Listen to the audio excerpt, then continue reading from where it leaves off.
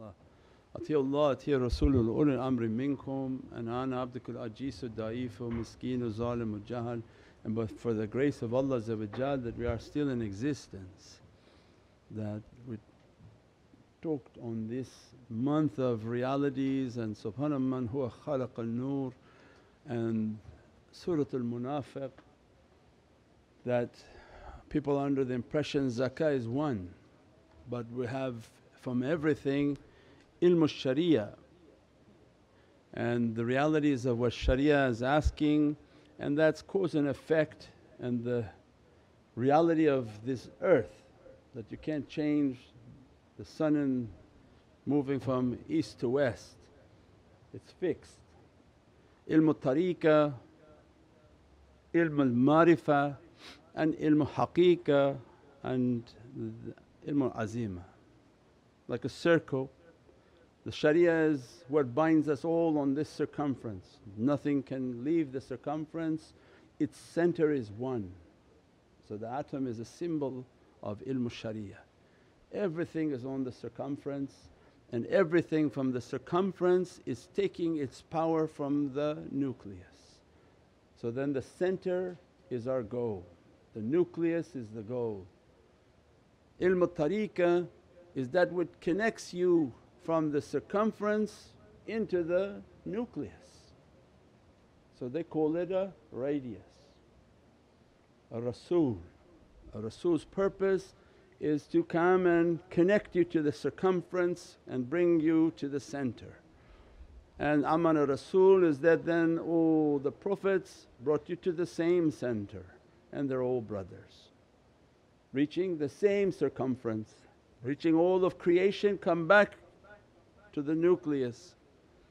So the knowledges must be based on also the tariqah, the way to go back to the center most of people practicing religion and all religions are only sharia, only the do's, don'ts and the wrong. They don't really follow Qur'an, they follow Furqan, the world of right and wrong, everything right and wrong.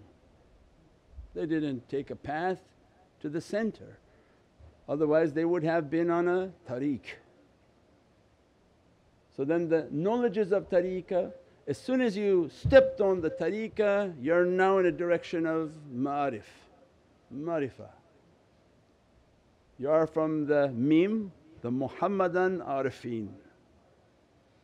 And you're taking a guide that has gone to the center and came back, not somebody who read about it, but whose heart went to the center, died, and Allah sent it back to the circumference and now you have a ijazah to guide. So then their knowledges must be at a level of marifah. From marifah every step towards the center you're going closer, everything that they're going to now talk to you like a tour guide. We're getting closer, we took another step, here comes another haqiqah, a haqqat, a reality and truth. So every step that they're bringing of realities are truths that are coming. And as they get closer and closer to the truth then they become unspoken realities of azimah because it's not meant to be propagated openly all over the internet. So there's a knowledge at every level. Zakah on the circumference two and a half percent, come on give something from what Allah has given to you. As soon as you stepped on the radius, Allah inspired you, take the tariq, istiqamu fi tariqat. Be firm on this path now. As soon as you stepped on the tariq, then Allah said, no, no, no, this is now your jihad, you're going to give 10, 20% or more of whatever you make in life. At that time people hear and say, what? I'm out. Get out. Allah want their jihad to be real. Their fight, jihad al-akbar is against themselves and this what people worship has to be brought down and they give with their life in tariqah.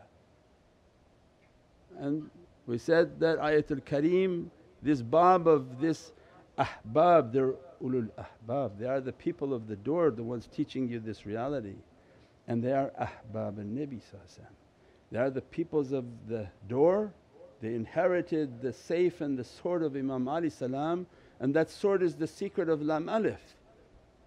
And with this reality of Lam Alif of the two rivers they're going to take your head off.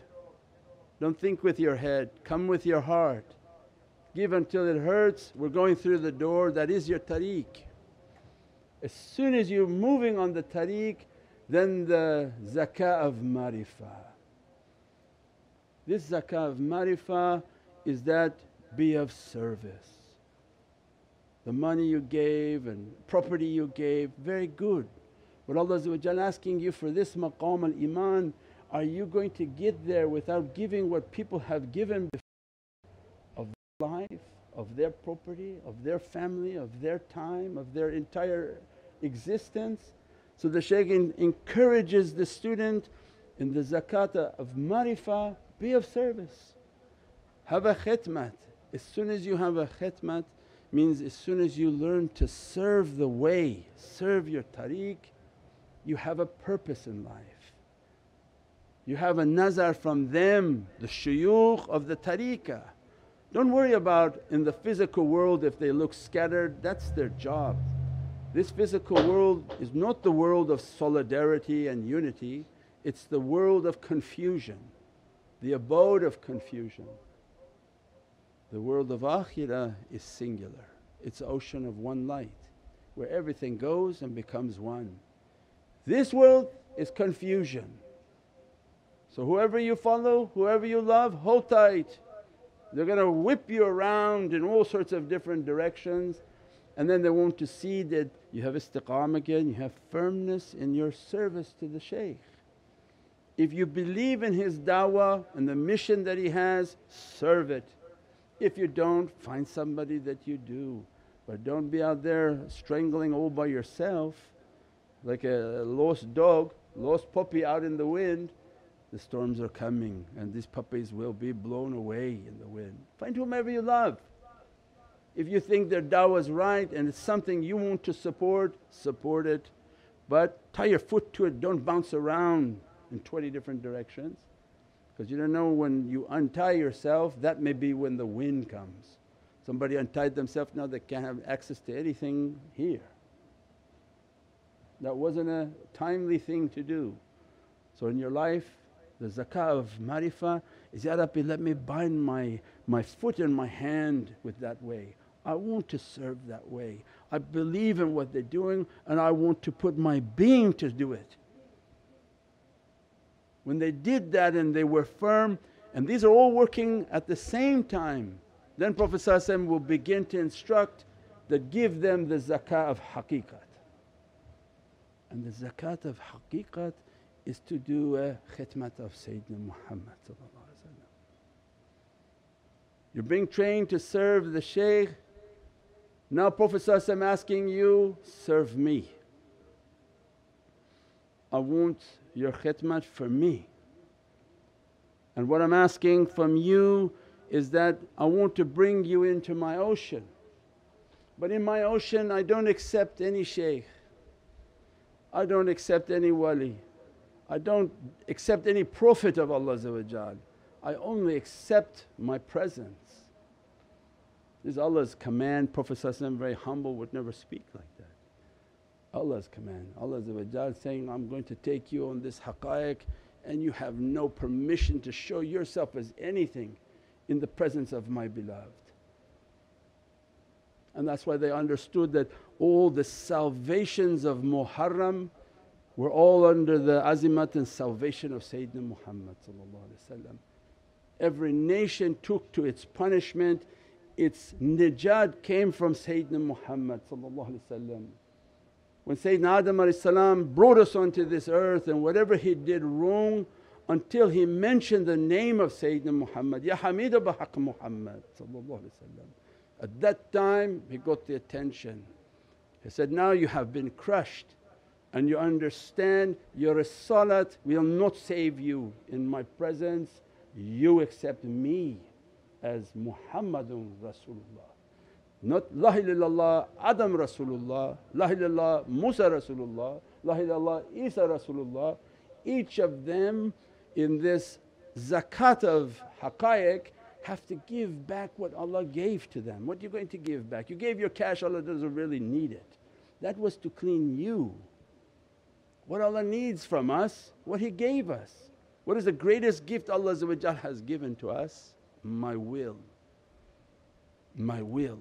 Ya Rabbi I'm coming to the tariqah to surrender my will. I don't want to choose. They call that in other groups the prayer of serenity. How millions of alcoholics and drug addicts are finding recovery by surrendering. They surrender to a power higher than themselves. They surrender their will and they understand that when I choose it's all wrong, you make the choice for me. When it's things that I can't comprehend and understand, my Lord, you choose for me, Ya Rabbi. Allah then put your will on the table, I want that back. I gave it as a gift. If you truly want to give your zakah, give your will back to me in which to surrender their will. So then every Prophet of Allah they have to leave their risalat to enter into La ilaha Muhammadun Rasulullah So Adam realized that du'a is not going to be answered. 40 years cried until he remembered what he saw and said, Ya Hamida Muhammad and began to mention words what Allah said and he mentioned words to his Lord at that time Sayyidina Muhammad accepted his tawbah and said, now that you have acknowledged Muhammadun Rasulullah you're admitted into that presence. Sayyidina Ibrahim, قُلْ يَا نَارُ كُونِ بَارْدًا وَسَلَامًا The thrown into a fire and that fire its najat and coolness and peacefulness is through Sayyidina Muhammad and Sayyidina Isa all the difficulties and burdens that he took of torture and pain is that I don't want to be anything and I'm going to be abused by these people but Ya Rabbi don't let me to die to see Sayyidina Muhammad raise me onto your presence and bring me back in the last days. And his du'a was accepted to be raised in the presence and to come back to and be from Ummah Muhammad Rasulullah So means they annihilated their annihilation. And the most famous of their teachings Sayyidina Musa So this zakat of haqqaiq Nabi Musa was told, if you want La ilaha Muhammadun Rasulullah go and be humiliated by my servant one of these Muhammadan guides and Sayyidina Khidr salam, Sayyidina Abbas Khidr salam is on the Naqshbandi silsila. Means that reality runs through Naqshbandiyah. And said, go, go to this Naqshbandi shaykh, he's going to humiliate you and you're going to take the humiliation for the love of Sayyidina Muhammad and we said, how Sayyidina Khidr was talking to Nabi Musa like that. Uh, you don't have any patience, you don't even know any of these things and in the end, please go away. How do you talk to a Prophet like that? And Nabi Musa, Samina watana, whatever you say I'm accepting. And what Prophet wants from us is then don't talk, don't speak, don't give answer back, don't give credit to your ego that take, take every type of difficulty and keep silent on your way, on your tariq. It's not about work, it's about your tariq. Your tariqah comes and teaches you on this way of love, don't ever talk, don't ever give a sign of yourself, don't give an explanation of yourself, don't complain. If you complain and use the channel and the relationship with your shaykh as this testing becomes harder, he will cut you from the presence because the test is about to get very bad. You'll be cut from the presence so that you can make your connection with Sayyidina Muhammad because the complaining not going to help. The complaining was the surrendering, that was the zakah. If you're coming for love, Prophet is going to ask, Are you coming to me as a shaykh? I'm going to crush you. They're coming now, crush you. Be nothing, be nothing. Come with love, come with love. And they take every difficulty as a muhabbat and love for Prophet And that's why in these naat they say, Ku qam. My qam, my sadness is like a mountain. I cannot give an answer with my mouth, I cannot run away from the difficulty. All I can do is pray to Sayyidina Muhammad, pray to Allah but pray at the feet of Sayyidina Muhammad that grant me your nazar, grant me your nazar. Because they're not praying for relief that, Ya Prophet be happy with us. Ilahi anta maqsoodi wa ridat matloob. Ya Rabbi be happy and pleased with us that Prophet to give us an audience. So means this zakat of haqqaiq is they took difficulty and qam in their way and they didn't complain every day, they didn't nag and look for somebody to whine to and cry to and, and, and make every type of difficulty. And when they did, they're reminded within their heart, take the difficulty for Sayyidina Muhammad If this world gives you a title and gives you some sort of recognition, it's not valid for Allah What's valid for Allah is if this world come against you and I'm bringing you deep into my Divinely Presence. If this world curse you, I'm bringing you into my Divinely Presence. That's why then the kalam al awliya is not understood by ulama. They said, You're not a real wali until thousands of ulama curse you.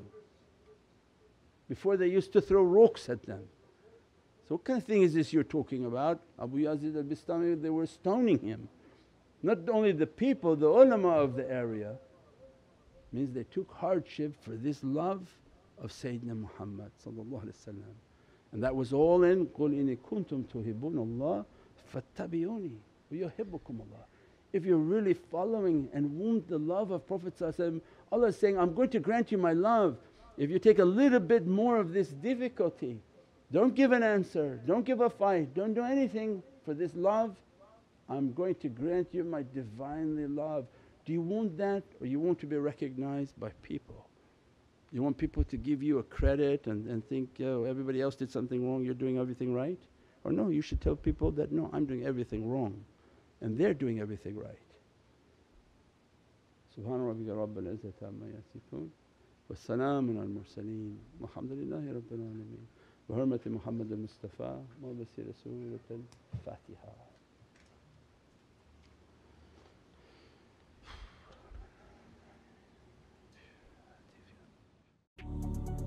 Welcome to Muhammadan Way YouTube channel, your premier destination for videos on Sufi spirituality, classical Islamic teachings, and realities of the soul.